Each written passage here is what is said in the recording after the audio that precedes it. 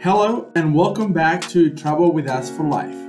This week we take you with us to Mexico City, the capital of Mexico. Don't forget to subscribe and like this video.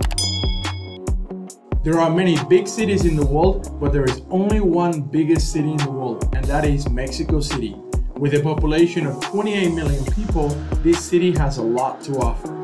We spent two weeks in Mexico City visiting my uncle Orlando and his wife Myrna, and they took us along to some of the best sites.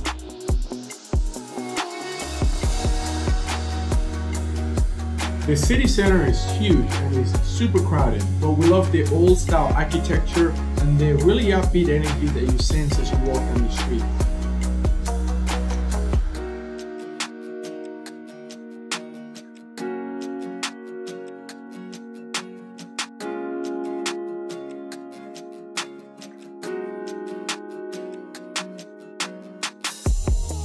These are the top 8 things we recommend doing in Mexico City.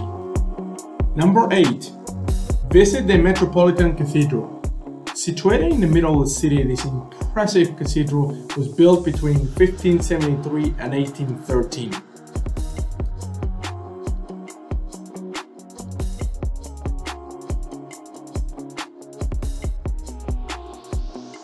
Because of how long it took to build, just under 250 years, virtually all of the main architects, painters, and sculptors during colonial times worked at some point during the construction.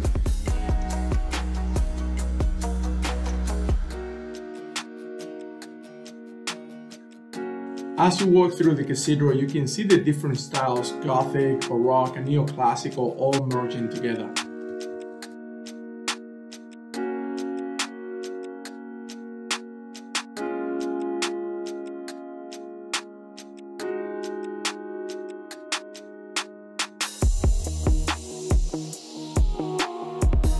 Number 7. El Huequito Taco Restaurant. We were told by everyone that these were the best tacos in Mexico City, so we had to try them. And I gotta be honest, they were actually really good. We're at the El Huequito taco place. They're famous for the tacos.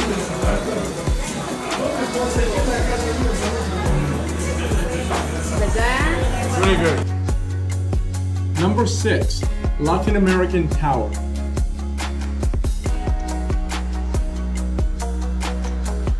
There's a lot to do at the ground level of Mexico City, but if you want to take a break from the busy streets and view the city from up top, the best place to do it is the Latin American Tower.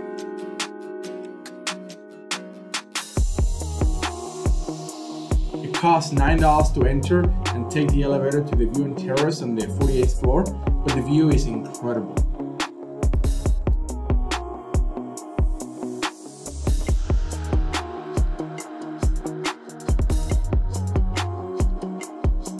Number 5. Have lunch at the Balcón de Zocalo restaurant. Right in the center of Mexico City, you'll find Plaza Zocalo, or Constitution Square. If you want to get a good view of the plaza from above while you enjoy a good lunch, check out this cool little restaurant.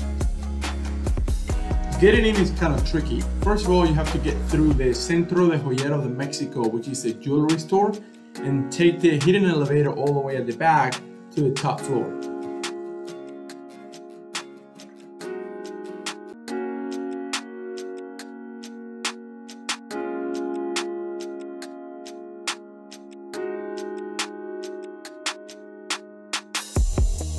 Then sit back and enjoy the view.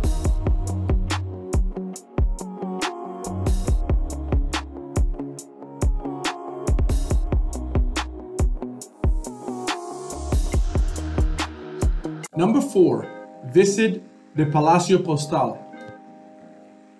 This incredible building, Palacio Postal or Postal Palace, was completed in 1907 and has been in operation ever since. Originally built to celebrate Mexico's new postal system, it served to unite the nation around a common service. Today, you can enter anytime and explore its beautiful hallways, and if you feel like it, even send a letter home.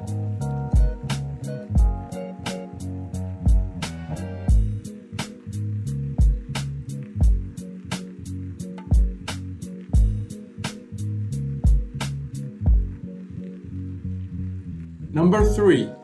Visit the Teotihuacan ruins. About an hour drive from the hustle and bustle of downtown, you'll find the Teotihuacan archaeological site. The city of Teotihuacan existed from 100 BC all the way to 800 AD and at the time was the largest city in all of the Americas. As a matter of fact, with a population of 125,000 people, it is considered to have been the sixth largest city in the world at that time.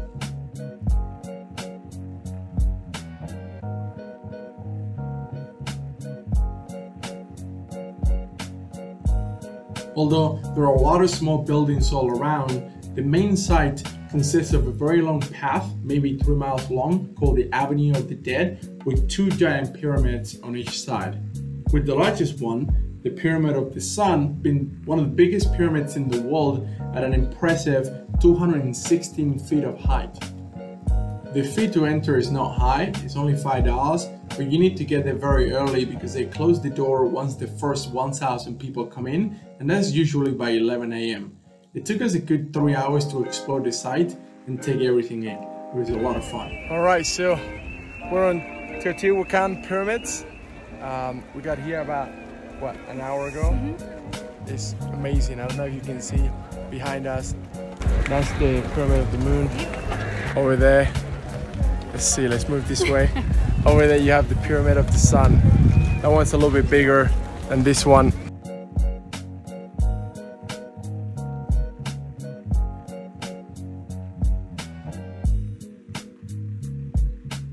Number two, visit the San Juan Food Market.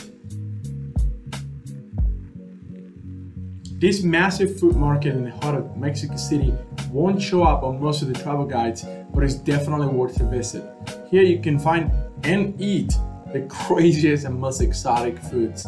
You'll find everything from scorpions, tarantulas, and all types of insects to tiger and lion meat. After exploring for an hour or so, we settled for having lion steaks. I'm not kidding, real lion steaks. It was delicious. Okay, we are at the Mercado de San Juan, as you can see, a crazy place. We have all kinds of crazy foods uh, in the middle of Mexico. We're actually going to be having lion meat. We have all kinds of crazy stuff. They have lion meat. Literally African lion meat. Probably not from Africa, born and bred in Mexico, and about to be eaten by me. Real lion. He's about to cook it. We're about to eat it. This is gonna be great.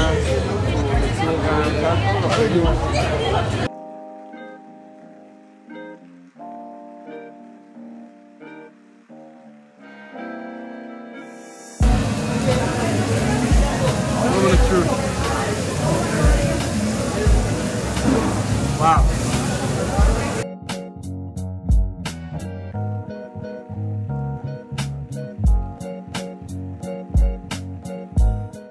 Number 1.